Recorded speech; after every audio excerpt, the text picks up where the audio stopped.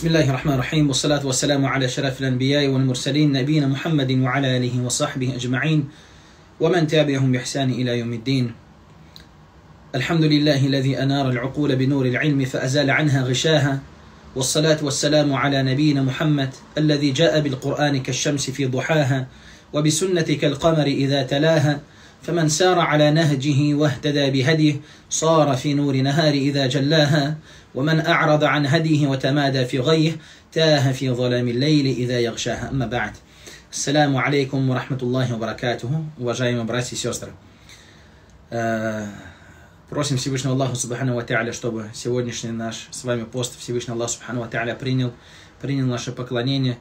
Субханаллах, уже первые 10 дней закончились, так быстро пролетает Рамадан, и каждый, мне кажется, из вас это чувствует в себе, если позапрошлый Рамадан, субханаллах, очень быстро пролетел. Прошлый Рамадан еще быстрее, а этот Рамадан, субханаллах, уже 10 дней прошли. Поэтому э, иногда кто-то, наверное, из вас слышал э, высказывание такое, некоторые приписывают это к посланнику Аллаха, саллаллаху алейхи вассалям, то, что первые 10 дней ауалюху рахма, ва аусатуху магфира, ва ахируху идку минаннар, первые 10 дней это э, милость, вторые 10 дней это магфира, прощение, последние 10 дней это спасение от наказания ада. Но однако э, этот хадис, так как приписывается к посланнику Аллаха, саллаху алейхи вассалям, ля ясих, он не является достоверным ни с точки зрения э, санада, ни с точки зрения цепочки, ни с точки зрения матна самого хадиса. Почему неправильно будет сказать, что первые 10 дней рахма, первые 10 дней милости прошли, все, милости больше нет, сейчас э, начались прощения. Потом пройдут прощения, потом уже только спасение от огня. Нет, потому что эти три вещи, э, рахма, валь магфира, валь-идку минаннар муталяхима, то есть это друг от друга, они как бы, это как одно целое, зависящее друг от друга. Милость Аллаху Субхану Тааля, прощение это и есть милость Аллаху Субхану Тааля. Туда входит и прощение в милость Аллаху Субхану Тааля. Также э, спаса, спасение от наказания э, ада. Поэтому сказать, что последние 10 дней, да, Ученые говорят, что вторые 10 дней, они лучше, чем первые 10 дней. Последние 10 дней, они лучше, чем первые и вторые 10 дней. Но однако весь Рамадан, он благодатный месяц. И каждую ночь Аллах Субхану Ва ведет список, рассказано «Валиллахи утака уминаннар» ولله عتقاء من النار وذلك كل الليلة. У Аллаху Субхану Ва Тааля ведется каждую ночь в месяц Рамадан список тех людей, которые спаслись от наказания ада. Поэтому прошло thuluth, одна треть, вот thuluth кафир, и одна треть это много. Осталось Сейчас и эти дни еще быстрее пролетят, мы с вами заметим. И последние 10 дней тоже очень быстро. И весь месяц пройдет. Поэтому дай Аллах Субхану Тааля нам максимально получить пользу от этого месяца, максимально, иншаллах, сделать э, благие дела по мере возможности, иншаллах, за каждую минуточку. То есть, субханаллах, сейчас э, вроде бы как там джума прочитали мы с вами пятницу, да, молитву, уже не успели глазом моргнуть, как будто э, уже новая джума наступила через неделю, как будто вчера только читали, уже опять. То же самое Рамадан, как будто мы только недавно его проводили с вами прошлый Рамадан, он уже наступил. Также и хадж, и также это именно имеется в виду мин аламат из э, признаков судного дня, как сказал пророк Мухаммад саллаллаху алейхи вассалям, мин аламат саа такарубу заман. Такарубу заман, то, что время друг другу, оно близко станет, то есть быстро будет время проходить. Поэтому, да, Аллах Субхану Ва нам, иншаллах, максимально пользу получить и довольствие Всевышнего Аллаха Субхану Ва. Я Раб. Вчера мы с вами цитировали аяты из Сурат Аль-Бакара, аяты Сиям, аяты, связанные с постом. До этого сделали шарх разъяснение Сурат Аль-Фатиха. Сегодня возьмем с вами суру Аль-Ихляс. 112 сура Священного Корана, сура Аль-Ихляс. Куль ху Аллаху Ахад. Аль-Ихляс переводится как искренность. Когда вы открываете хадисы, возьмете, например, баб, например, хадис Сахин Бухари, то первый баб, первый раздел Бабуль Ихляс, раздел искренности. Книгу, когда по шариату начинаете читать, то автор всегда делает такой акцент первый на что? На искренность. Искренность – это обязательное действие, уже, уважаемые братья и сестры, дабы были приняты наши деяния. Как мы вчера говорили, то, что чтобы было принято деяние, два условия для этого есть. Аль-ихляс. Первое – это искренность. Второе – аль-мутабаа, именно соответственно сунне, пророка Мухаммада, саллаллаху алейхи вассалям. Почему она названа так сура Аль-Ихляс, искренность, тоже из-за ее величия. Называется эта сура также Thuluthul Коран, одна треть Корана, когда посланник Аллаха, саллаллаху алейхи вассалям, обратился к сподвижникам и сказал, кто из вас может прочесть одну треть Корана за ночь? Некоторые сахабы сказали, Thuluthу кафир, одна треть это много, я Расулуллах, на что сказал пророк Мухаммад, саллаллаху алейхи вассалям, читайте сурату Ихляс. Поэтому ученые говорят, если три раза ее прочитать, награду берешь, как будто весь Коран прочитал. Э, перед тем, как зайти в тафсир, хотелось бы напомнить э, несколько хадисов касательно этой суры. Обычно, когда человек читает, что побуждает читать эту суру Аль-Ихлас? В первую очередь, нас с вами побуждает вообще читать Коран. Это то, что это калям Аллахи Азза ва Джалла. Калям Аллахи Малик Аль-Аллам. То, что это слово Аллаха. То, что это речь Аллаха Субхану Ва И первое, это должно быть этим, это побуждение, дабы читать Коран. Но однако, с точки зрения награды аджра, например, пророк Мухаммад, саллаллаху алейхи вассалям, говорил, «Икрау Захараван», «Икрау Захаравайн», читайте Захаравайн Аль-Бакара, Али Имран, чтобы спастись от наказания в могилах, сурат Аль-Мульк, Табарак Аллази биядих мульк когда человек читает от наказания в могилах. Также сурат Аль-Ихляс, касательно сурат Аль-Ихляс, Э, Сурат Аль-Кахф, например, каждую пятницу мы с вами читаем, да, как сказал пророк Мухаммад, саллаллаху алейхи вассалям, тот, кто прочитал в пятницу Сурат Аль-Кахф, ему будет такой нур, такой свет, мабейна джумаатейн, который между двумя пятницами. И также сказал тот, кто первые 10 аятов, последние 10 аятов прочитает, э, не встретится с даджалем, с антихристом даджалем. И это побуждает, это награда, и это фадль, это достоинство побуждает человека читать эти суры. Что касается сурат Аль-Ихляс, пророк Мухаммад, саллаллаху алейхи вассалям, сказал, «Ман караа сурат Аль-Ихляс ашара маррат, буния лаху касрун фил джанна». Вафи ривай буния лаху аль-бейту фил джанна. Тот, кто прочитал 10 раз, 10 раз сурат Аль-Ихляс, сколько времени займет у нас с вами прочитать сурат Аль-Ихляс 10 раз? Меньше 5 минут, 3 минуты. Сурат Аль-Ихляс, чтобы 10 раз прочитать. Посланник Аллаха, посмотрите, за 3 минуты мы с вами, это самое, так скажем, грандиозное строительство. Посланник Аллаха, саллаллаху алейхи вассалям, сказал, кто 10 раз прочитает сурат Аль-Ихлас, этому человеку Аллах построил дом в раю. Ля иляха. Посмотрите, какое великое. Аль-амаль ясир, валь аджрун азим. Само действие, оно маленькое. То есть, имеется в виду, мало времени занимает, чтобы 10 раз сурат Аль-Ихлас прочитать. Однако, какая великая награда за это. Это, опять же, из милости Всевышнего Аллаха, субхану ва по отношению к своим рабам. И это еще раз указывает то, что Аллах Субхану Ва ни в чем не нуждается. А все эти действия, которые Он нам с вами приказал выполнять, гия ясира, это легкие действия, но заслуживаешь такую великую награду. Кто 10 раз прочитал сура Ихляс, буни ляху бейтун фил ему построен дом в раю, сказал саллаллаху алейхи вассалям. Также э, один из подвижников в каждом намазе после сурат Аль-Фатиха читал сурат Аль-Ихлас. Больше ничего не читал. Только сурат аль-Ихлас. То есть любой намаз читал Фатиха, читал сурат аль-Ихлас. Был один из имамов. И тогда посланник Аллаха, саллаллаху алейхи вассалям, спросил его, почему ты в каждом ракате читаешь сурат аль-Ихлас, в каждом намазе читаешь только сурат аль-Ихлас. На что он ответил, «Иннаху тусафу раббана» Эта сура описывает нашего Господа. «Фаухиббуха» И я люблю эту суру. На что пророк Мухаммад, саллаллаху алейхи вассалям, ему сказал, «Фаби хуббика ияха ахаббак Аллах». За то, что ты любишь эту суру, Аллах тебя полюбил. За то, что ты любишь эту суру, Аллах, субхану ва тебя полюбил. Также во время пророка Мухаммада, саллаллаху алейхи вассалям, ахль Куба, те, кто жили на территории Куба, Куба это, э, знаете, кто был в Медине, это первая мечеть, построенная во время ислама, Масджид Куба. Раньше это была деревня, не относилась к Медине, но сейчас это уже как бы, когда город Медина стал больше, это уже входит в состав города Медина, то есть это местность. А раньше это, это именно то, как когда пророк Мухаммад, саллаллаху алейхи зашел э, в Медину, когда из Мекки направлял в сторону Медины, именно остановился в Куба, и там была построена первая мечеть. До этого э, была мечеть Аль-Харам в Мекке, но однако с джамаатом не читали мусульмане. И когда у мусульман, потому что был хау, был, был страх джамаатом читать, то есть мушрики их разгоняли. Именно когда они переселились в Медину, там их встретили ансары, и у них именно любовь не соскучились именно по салават аль-джамаа, соскучились по намазам вместе с джамаатом. То же самое, как и мы сейчас с вами на карантине, братья, соскучились по намазам вместе с джамаатом. Также сахабы скучали, именно когда переселились в Медину, они прочитали, там построили мечеть Куба, и там же прочитали первый намаз салат аль-джамаа. Во время посланника Аллаха, саллаллаху алейхи вассалям, Ахль Куба, жители на территории Куба, поставили для себя одного имама. У него был хороший голос, красивый голос, аль-вара, вот таква, был богобоязненным этот человек. И он, когда читал, проводил намаз, после сурат аль-фатиха читал суру и еще добавлял сурат аль-ихлас. В каждом в каждый раз, когда, например, любой намаз он читал, это из его было действие.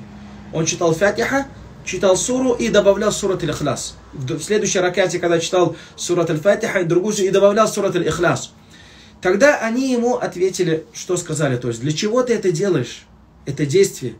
То есть не нужно, если ты прочитал Фатиху, прочитал суру, не нужно постоянно добавлять сурат аль-Ихляс. Это что-то ты новое делаешь. На что он им ответил? Или вы меня примете таков, как я, я буду так делать, или ищите себе другого имама. Я уйду тогда, не буду проводить. Я только для себя такой намаз вижу сахабы, Редван Аллаху алейхим, абау. То есть они, э, сахабы, посланник Аллаха, саллаллаху алейхим, не хотели его менять. Почему? Потому что он был хорошим имамом с точки зрения чтения иткан, то есть произношения Корана, красиво читал, и сам был хорошим человеком. Поэтому э, на сегодняшний день, даже когда вот мы с вами приходим в мечеть и встаем, например, за имамом бывает то, что мы, когда он читает, и мы размышляем, и наш иман поднимается. А в какую-то, например, с другим имамом мы встаем, так иман не поднимается. То есть, например, если мы знаем, что Аллаху Алям по внешнему, то, что этот имам, он богобоязненный, он живет там, например, по сунне, что-то выполняет и так далее, нам приятно за ним читать намаз, и наш иман поднимается. А, например, где-то в другом месте мы знаем, например, что аха этот, например, он мубтадия, то есть тот, кто вышел, проводит э, намаз, может быть, в нем он что-то делает несоответственно по сунне, или, может быть, э, он в мечети себя так ведет, а в другом месте он себя по-другому ведет. Если мы это знаем, все равно мы не сможем полностью получить хущу, полностью получить внутри удовлетворение и богобоязненность о своих молитвах. Даже если он отлично и четко читает Коран. Поэтому они его не хотели менять, этого имама. Они не хотели менять этого имама, но рассказали об этом действии посланнику Аллаха, саллаллаху алейхи вассалям. Тогда пророк, саллаллаху алейхи вассалям, спросил его и сказал, Почему ты так делаешь? После каждой суры ты читаешь сурат аль-Ахлас. На что он ответил, «Хадихи сура тасифу Раббана Азза ва Джалля». Эта сура описывает нашего Господа, Субхану ва Та'аля. Фаухиббуха. И я люблю эту суру, поэтому я ее постоянно добавляю. На что пророк Мухаммад, саллаллаху алейхи ответил ему, «Фабихуббика ияха адхаляк Аллаху джанна». Из-за любви твоей по отношению к этой суре Аллах ведет тебя в рай. Аллах ведет тебя в рай. Поэтому такая великая сура Аль-Ихляс. Давайте сейчас мы возьмем тафсир, прочитаем эту суру, и переведем ее, иншаллах, и возьмем краткий тафсир Аль-Мухтасар. Что же это за сура такая великая, которая называется одна треть Корана?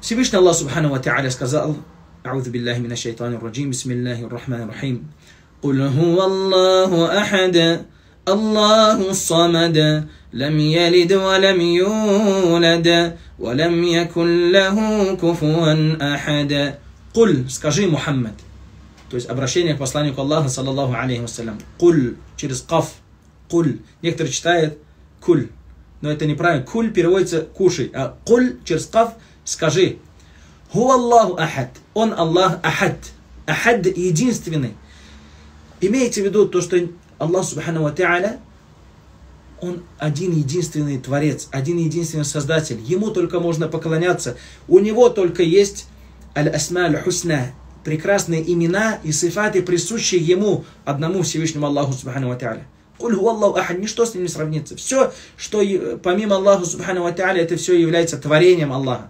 Он один великий, только Он халик, только Он Творец, только Он Создатель. Куль, скажи, Ху Аллаху Ахад. Он Аллах Субхану Ва один, единственный мин хайту халик, как творец, как создатель. Как Аллах Субхану Ва Та'аля, когда описывает твое творение и говорит Субхану Ва Та'аля, هذا خلق الله فأروني ماذا خلق الذين من دونه هذا خلق الله это творение Аллаха فأروني покажите мне говорит Всевышний Аллах ماذا خلق الذين من دونه что помимо Аллаха кто что мог сотворить Создатель всего и вся Аллах Субхану Ва Поэтому, когда здесь именно в этом аяте «Куль ху Аллаху ахадда» юхаккик ат-таухид, именно здесь э, э, показывается единобожие, указывается на единобожие. Аллах Субхану Тааля Ахад, Аллах Субхану Тааля единственный. Он создатель, он творец. И некоторые говорят то, что нет иного создателя помимо Аллаха, когда переводят «Ля иляха илля Но это неправильный перевод. Почему? Потому что и мушрики тоже, язычники, которые жили во время пророка Мухаммада, саллаллаху алейхи вассалям, они говорили, создатель всего и вся Аллах. Но почему же тогда Аллах Субхану Тааля их, как сказано в Коране, в хадисах, то, что они язычники, то, что они мушрики, они будут вечно наказаны в аду, Аллах в Коране говорит, ولئن سألتهم من خلقهم ليقولن الله Если ты их спросишь, кто их сотворил, они говорили Аллах. Также Аллах Субхану Ва говорит, ولئن سألتهم من خلق السماوات والأرض ليقولن الله Если ты их спросишь, кто сотворил небеса и землю, они говорили Аллах. Также Аллах Субхану Ва говорит, وَلَئِن سَأَلْتَهُم مَّن نَّزَّلَ مِنَ السَّمَاءِ مَاءً فَأَحْيَا بِهِ الْأَرْضَ مِن بَعْدِ مَوْتِهَا لَيَقُولُنَّ اللَّهُ Если ты их спросишь, кто дает с небес дождь, воду, после этого растет почва, они говорили Аллах. Ну за что они наказаны? Они, у них не было сомнения, то, что Создатель Аллах. У них была в другом проблема. Они верили, что Создатель Аллах, но предавали ему сотоварища. Аллах Субхану Ва об этом говорит в сурат Аль-Анкабут. Всевышний Аллах Субхану Ва сказал, فإذا ركبوا في الفلك دعوا الله مخلصين له الدين Когда они садились на корабли, а страшно, корабль плывет, доплывет до суши или нет, они просили о помощи только Аллаха. Мухлисин, лахуддин, с искренностью. Только у него просили. То же самое бывает, когда человек, даже неверующий, когда он садится в самолет, боится, там страх у него появляется, долетит он или нет. Какая-то вера присутствует, как говорится, во время страха атеистов не бывает. И вот они тоже во время пророка Мухаммада, саллаху алейсалям, язычники садились на корабли и просили только по помощи у Аллаха. Дальше Всевышний говорит,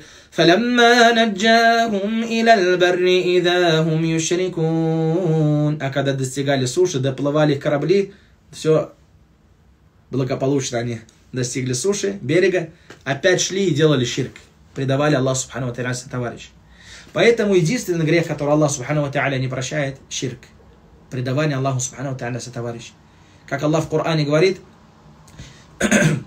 إن الله لا يغفر أن يشرك به ويغفر ما دون ذلك لمن يشاء ومن يشرك بالله فقد ضل ضلالا بعيدا Поистине Аллах Субхану Ва Та'аля не прощает, когда ему предаются товарищи. А все остальное прощает, кому пожелает. И тот, кто предает Аллаху Субхану Ва Та'аля сотоварищей в далеком-далеком заблуждении, говорит Всевышний Аллах Субхану Ва Та'аля. Поэтому Аллах в Коране в другом аяте говорит, «Инна ширка ла зульмун азим». Поистине ширк, предавание Аллаху Субхану Ва Та'аля товарища, это великое притеснение. Человек сам себя притесняет. Сам себя притесняет. И также нарушает права Аллаха Субхану Ва. То есть, представляете, Аллах нас сотворил, Аллах Субхану Ва нас сотворил, Аллах, к Аллаху мы вернемся, Аллах дает нам ризк, Аллах Субхану Ва в Его э, власти наша жизнь, в Его власти наш нафас, наше дыхание, в Его власти э, наша смерть, наша болезнь, наше исцеление. И при этом, если человек идет, поклоняется кому-то вместе с Аллахом, кому-то чему-то другому, это предательство. Это предательство. Даже человек, спросите у человека, э, самое тяжелое, что человеку простить?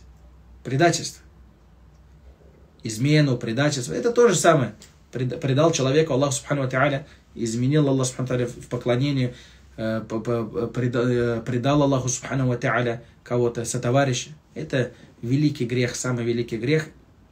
Поэтому основа у всех посланников была, с чем они, их Аллах посылал, «Алла та'буду илля Аллах». Не поклоняйтесь никому ничему, кроме Аллаха как Аллах Субхану Ва Та'аля в Коране сказал, وَلَقَدْ بَعَثْنَا وَلَقَدْ بَعَثْنَا فِي كُلِّ أُمَّةٍ رَسُولًا أَنِ اعْبُدُوا اللَّهَ وَاجْتَنِبُوا الطَّاغُوتَ В каждую из общин, говорит Всевышний Аллах, я посылал посланника со следующим. Ани абудуллах, поклоняйтесь Аллаху, ваджтанибут тагут, и отдаляйтесь от тагута.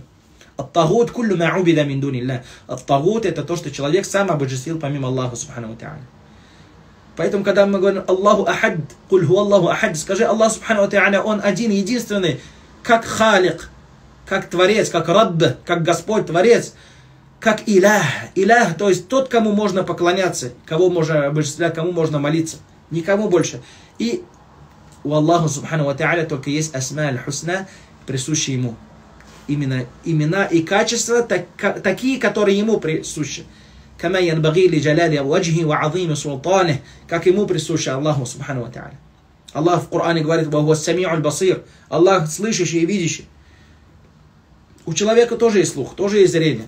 Но однако это, это его зрение, как человеку присуще, а это как Аллаху.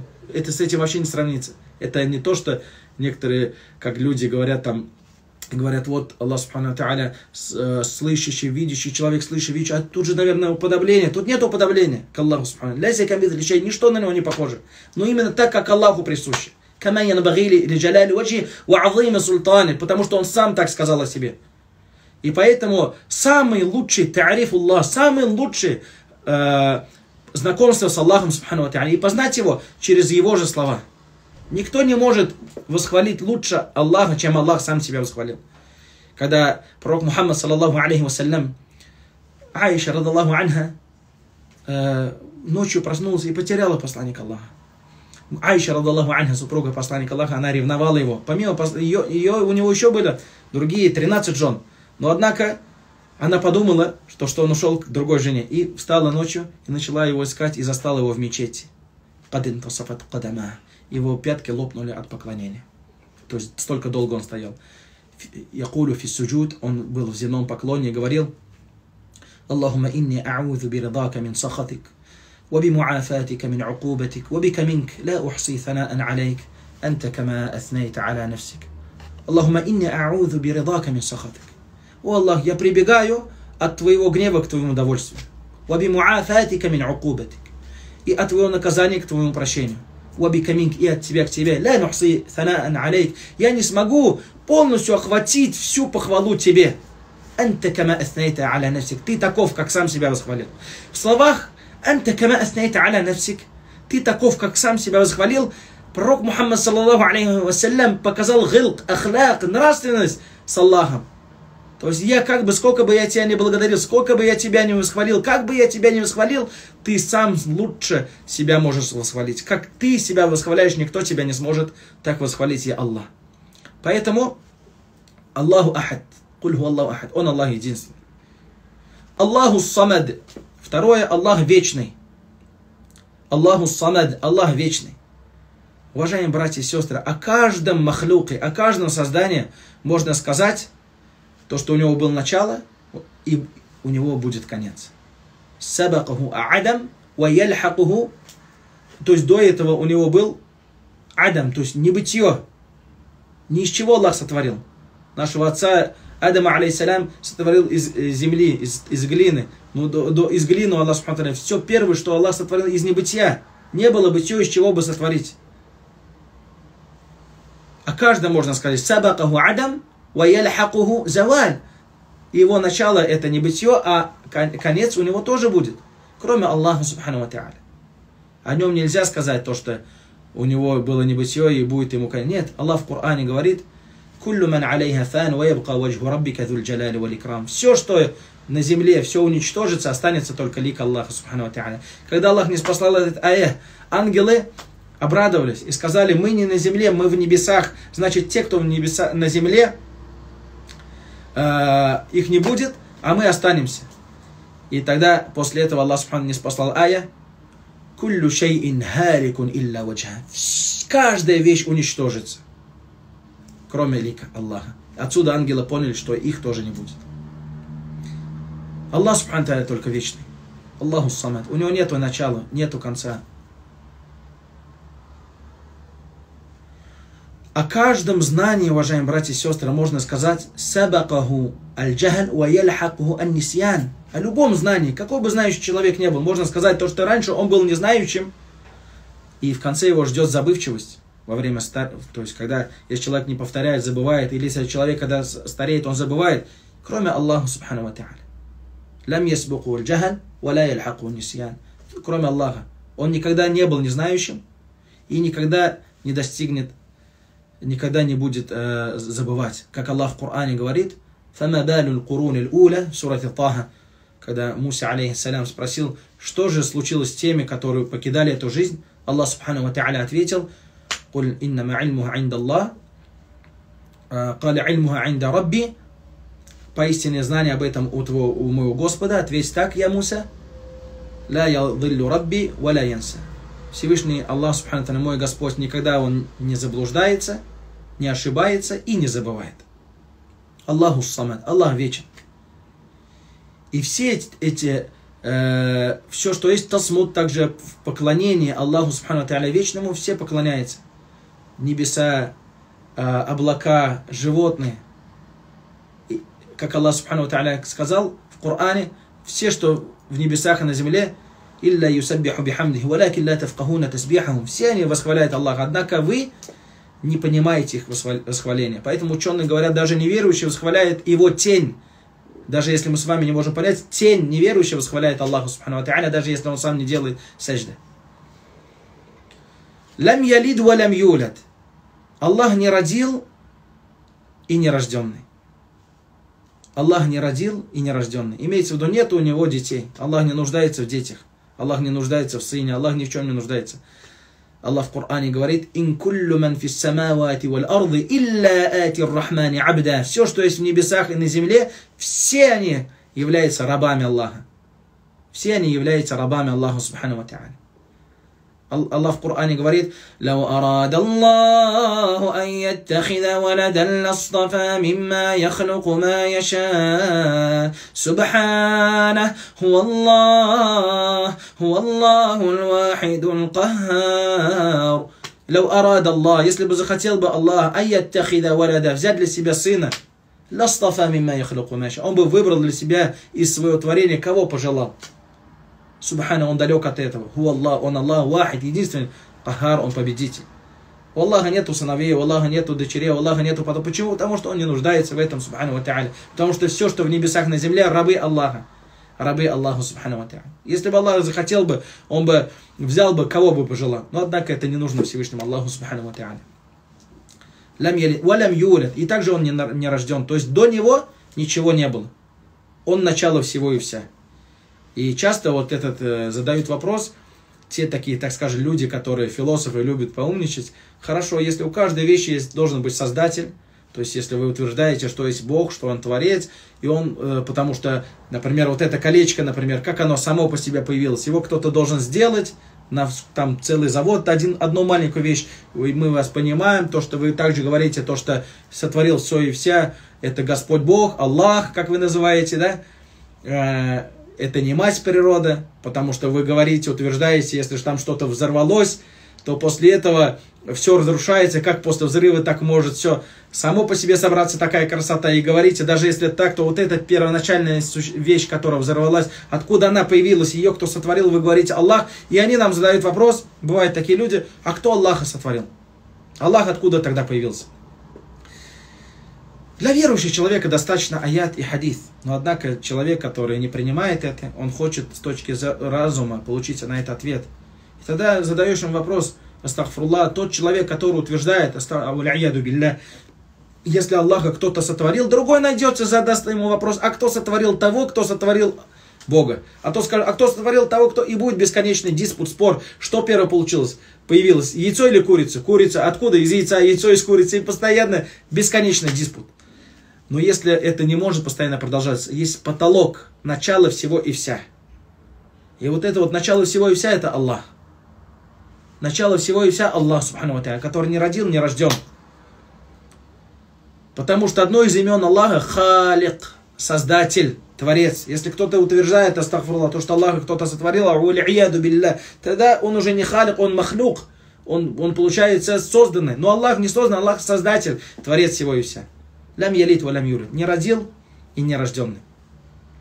Он Аллах не родил, и его никто, э, и он не рожденный. Валям якулляху куфуан ахад. И ничто с ним не сравнится, ничто не похоже на него. Аллах в Коране говорит, субхану ва та'аля, «Лайса шей». Ничто с ним не сравнится, на него ничего не похоже. «Ваху сами'у аль-басир». Он все слышащий, все видящий, Всевышний Аллах, субхану ва. Поэтому э, ничто с Аллахом не сравнится, ничто на него не похоже. Но мы, Аллах, субхану та'аля, можем познавать через его аяты, через его сифаты. Но однако там, например, придавать какой-то валияду биля облик ему и так далее, это не присуще потому что никакого, ничто, на него ничто не похоже. И верующие, да Аллах, амин, когда мы с вами, братья и сестры, зайдем в рай, мы увидим Аллаха Субхану Ва Мы увидим Аллаха Субхану Ва в раю, иншаллах, когда мы туда зайдем. И это самое прекрасное, что есть. Некоторые люди будут постоянно смотреть на Аллаха. Некоторые только там поменьше увидят, один раз увидят, кто-то несколько раз увидит. Да, Аллах Субхану это самое великое наим, самое великое благо, самое великое наслаждение – увидеть лик Аллаха, субхану Как Аллах в Коране говорит, «Лахум ма яшауна фиха» им уготовлено в раю все, что они пожелают. «Валядейна мазид» но у нас есть добавка. И вот это мазид, помимо всего рая, со всей прелестью прекрасного, لما لا عين رأت, как саллаху алейхи вассалям сказал, то, что глаз не видел, ولا أذن سمعت, то, что ухо, ухо не слышало, ولا خطر على القلب البشر, и даже сердце человека не может такую красоту представить. Все там будет, все, что хочешь, но однако добавка к этому это ру'ят ваджхи Аллахи Азза ваджаль. Это ру'ят ваджхи Аллахи Азза ваджаль. Это увидеть лика Аллаха Субхану Ва Верующий человек, который зайдет в рай, увидит Аллаха Субхану Ва Как сказал пророк Мухаммад, саллаллаху алейхи вассалям, «Ва ла таравна, кама таравна аль-бадра, кама таравна аль-камар, лейлат аль-бадр». Вы его увидите, Аллаха Субхану подобно тому, как вы видите луну в ночь вот это вот Э, в ночь, как вы видите, вот этот полный месяц, луну, также увидите Всевышнего Аллаха Субхану Ва Да, Аллах Субхану Ва нам вот эти лица, которые сейчас смотрят эту лекцию, и все мусульмане, иншаллах, и все верующие, чтобы увидели, зашли в рай и увидели лика Аллаха Субхану Ва Та'аля. Куль Аллаху Ахад, скажи Аллаху Он один, единственный. Мы это с вами поняли с точки зрения как создателя, с точки зрения того, кому можно поклоняться – с точки зрения его имен и сифатов, качеств, Аллаху Самад, его атрибутов, да? Аллаху Самад, Аллах вечный, лям ялид ва лям юлет, он не родил и он не рожден, ва лям якулляху куфуан ахад, и ничто на него не похоже. Ничто с ним не сравнится. Это сура, великая сура, Thulathul Коран, одна треть Корана. Поэтому, соответственно, хадису пророка Мухаммада, саллаллаху алейхи вассалям, если мы с вами ее Поэтому даже сейчас эфир закончится, прочитайте, братья и сестры, на это 3-4 минуты времени надо, 10 раз с ниятом, иншаллах, чтобы Аллах построил дом в раю. Самое быстрое строительство будет. С ихласом, сама сура ихлас, она искренность, с искренностью прочитайте 10 раз. Пророк Мухаммад, саллаллаху алейхи вассалям, сказал, «Ман кара сурат ихлас ашар маррат, буния ляху бейтун фил джанна». Кто прочитал суру ихлас 10 раз, ему построен дом, Аллах ему построит дом в раю. Дай Аллах Субхану Тааля, чтобы мы с вами были соседями в раю, иншаллах, в наших домах, соседи, соседями с пророком Мухаммадом, саллаху алейхи с подвижниками, иншаллах, шахидами, э, саддикин вместе с правдивыми, вахасина уляйка рафика, с праведниками, и как прекрасно это соседничество. Вассалаллаху аля набийна Мухаммад, ва аля алихи вассахаби аджмаин. Во время намаза, иншаллах, за нас дуа не забывайте делать за всю умму пророка, саллаху алейхи вассалям, и мы также, иншаллах. Джазак